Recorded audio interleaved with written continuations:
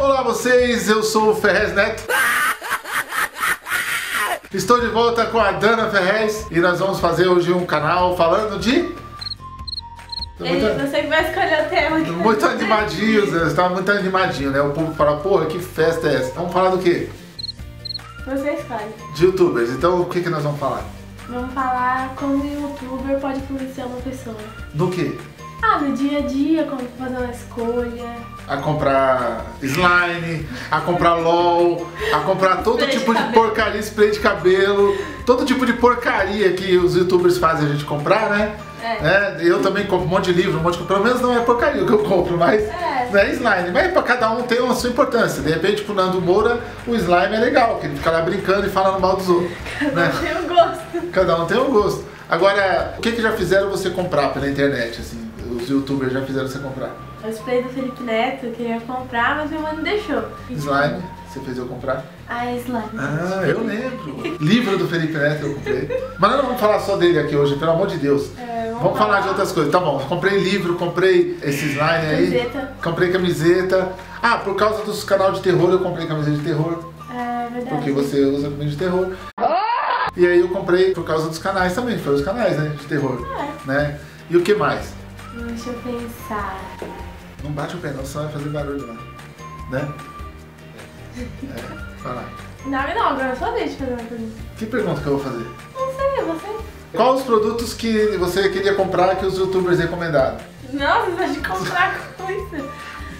Um produto que eu quis comprar foi um livro que eu vi no canal e dois bonecos do Estranho Mundo da Jessie, que é de terror também.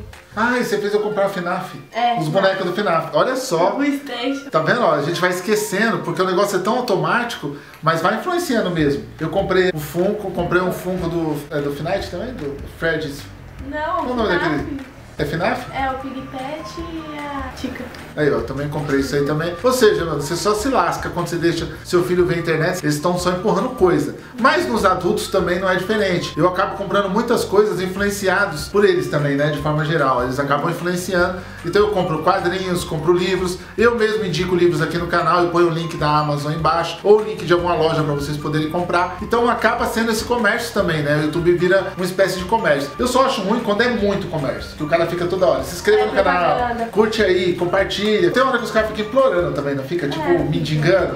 Assim, não tem? pelo amor de Deus, se inscreve. É, se inscreve, pelo amor de Deus. Tal. Fala nisso, se inscreva no canal, compartilhe o link. E dê um like. E dê um like e curta aí embaixo se você gostou desse formato aqui com a Dana. Quem sabe ela assume o canal e a gente fala de mais coisa interessante do que eu sozinho falando de política ou de literatura. Por falar em vendas, nós vamos mostrar aqui a canção de Roland. O quadrinho que a gente lançou pela nossa editora Comic Zone, certo, Dana? Você vai dar essa editora aqui mais pra frente, mas ainda vou trabalhar muito com ela. Olha o release, que bonito, ó. Esse release ficou show. Esse release ficou muito legal, ó.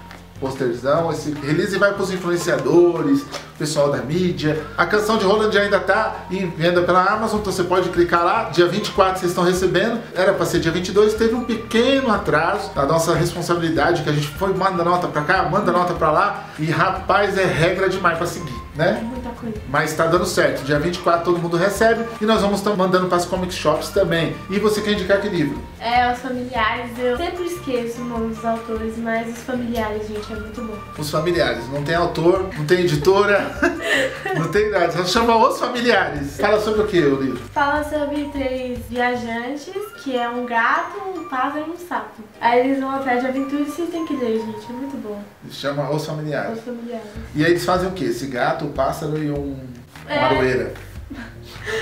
É como tipo se fosse bruxos, entendeu? Não, não entendi.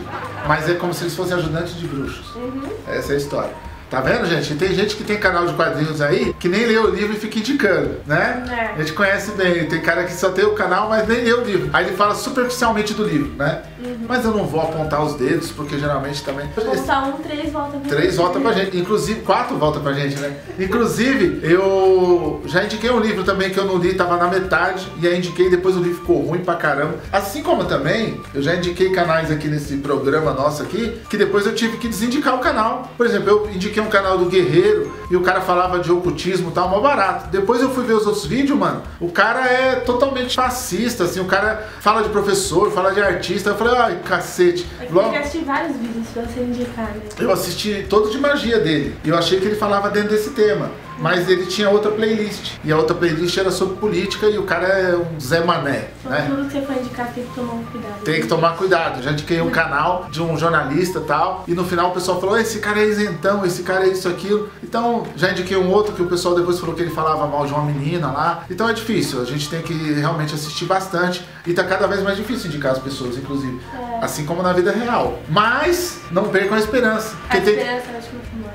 a esperança é a última que morre e tem que ter gente pra indicar as pessoas para as coisas boas, né? Que nem eu posso ter indicado, ela pode ter indicado um canal outro, a gente pode errar, mas o importante é a gente estar indicando e vocês fazerem a peneira aí. Assim como um monte de gente me indicou um monte de canal legal e me ajudou também nos outros Olha vídeos. como é, a gente foi falar de outubro e acabou voltando pro livro. Acabamos voltando de livro. Então, porque esse é um canal de livro, É, né? Que só tem a desculpa de ser youtuber para poder a gente pegar vocês nas ideias, nos chavecos. Deixa um último recado aí. gente, cuidado com as suas escolhas. Escolham bem seu caminho pra trilhar, escolham bem o seu caminho, viu? Rapaz, falou uma menina de 12 anos. Escolham bem o seu caminho.